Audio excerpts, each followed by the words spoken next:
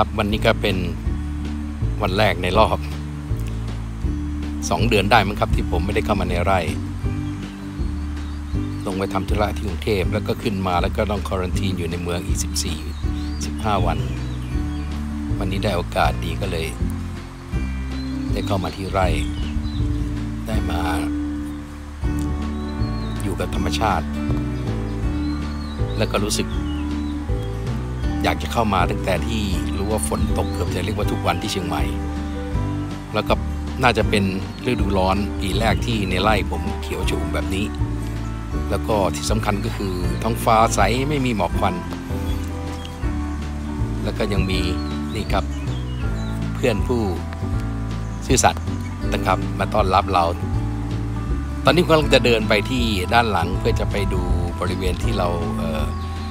ปลูกพวกไม้ผลนะฮะเพราะช่วงนี้เป็นช่วงที่เราก็เตรียมนะฮะนี่คือมะนาวอินทรีย์นะครับ อันนี้ผมยังไม่ทราบเดี๋ยวต้องหาพี่สาวดูไม่รู้ว่าอะไรปลูกนะครับคล้ายปลูกอย่างไรคล้ายบวยอะไรสักอย่างเนี่ยนะครับ อันนี้เป็นส้มโอทับทิมนะที่ที่ผมบอก อันนี้คือปุ๋ยปุ๋ยอินทรีย์นะครับที่พี่เคยกับพี่สะพ้ยเขาทำอันนี้ที่ไม่ได้ห่อไว้นี่เพราะว่าเท่าที่คุยพี่นี่เขาบอกว่าบางลูกเราก็ต้องยอมมันเสียไปเพราะว่าถ้าต้นหนึ่งมันมีหลายลูกมากเนี่ยมันก็จะไม่ไหว ครับดีครับกลับมาถึงธรรมชาติรู้สึกดีๆ ได้กลับมาไร่บ้าง ลืมเรื่องโควิดไปเลย หลังจากลงทะเบียนเสร็จเรียบร้อยแล้ว ขอบคุณมากครับ